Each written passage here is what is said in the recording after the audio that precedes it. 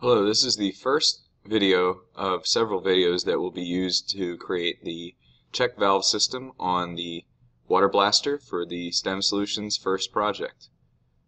In this video I will walk you through the process of building um, parts of this check valve and the part that we're going to be working on this time is going to be just this piece right here. This is a uh, 3 quarter inch piece of 3 quarter inch inside diameter piece of PVC piping this is a 37.72 millimeter section of it in length. And what we're going to do right now is build that inside piece. That's what we're building right here. And that's the inside that's holding this socket in this socket together. So that piece of PVC pipe is inserted in between. So let's take a look at our piece that we're going to recreate using Inventor. Let's take a look at the sketch first. So I'm going to right click on the sketch, hit edit sketch, so these are my dimensions for the circles. I'm going to hit finish sketch and then I'm going to look at the extrusion and check out the extrusion that's 37.72. So those are my key measurements that I need to create this piece. So to get started I'm going to go to the file menu and I'm going to go to new and I'm going to select a standard millimeter IPT. Now remember that it doesn't really matter if you start off in inches, that's okay. You can always switch the units later from inches to millimeters. So hit create. And we're going to start off with our millimeters drawing. Start the 2D sketch. Click on the start 2D sketch option at the top where it says 3D model.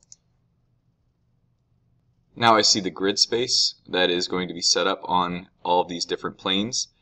Uh, this is the origin, which is right here, the, where X, Y, and Z intersect uh, through these planes. And I'm going to click on the XZ plane.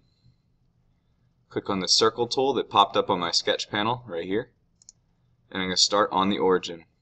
This first circle is going to be 20.5 and I simply just type 20.5 on my keyboard and hit enter and the dimension is constrained and we see a circle that is 20.5 millimeters in diameter. The next circle that I'm going to create starts from that center point of the previous circle that was created and I'm going to make this one 26 okay 26 millimeters like I said to you before the um, and I hit finish sketch like I said to you before the units can be changed at any time and in this case um, if I wanted to look at what the units would actually be in inches I could go to tools go to document settings and go to units and change from millimeter to inches if I was to do that. Hit apply.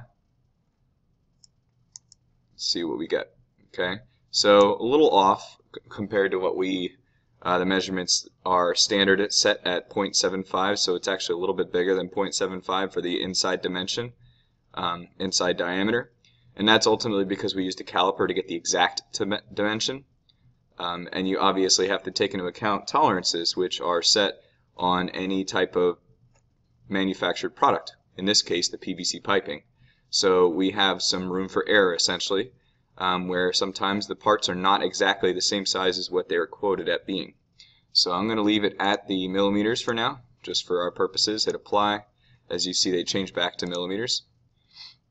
Now I'm going to go to the 3D model menu at the top of the screen, hit extrude, select the surface that we would like to extrude. That's the cylinder and it's going to go in the direction up or down depending on what arrows you decide to select on the extruding options. The distance that we would like to extrude is going to be set at 37.2 millimeters. Once you're satisfied with the distance, hit OK. Use the wheel of the mouse, zoom out. There is the first piece. So we can go ahead and save this now.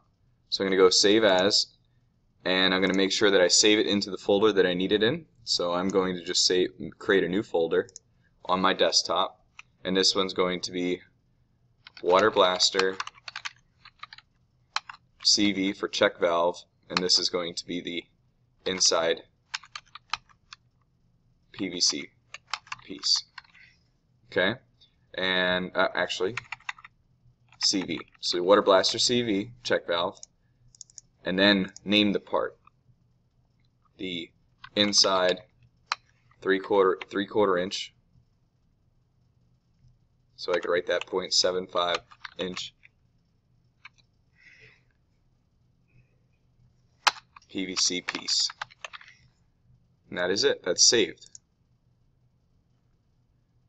And that's all you have to do for the first piece. In the next video clip I'll show you the next component which is going to be this socket, okay, the socket and threaded part.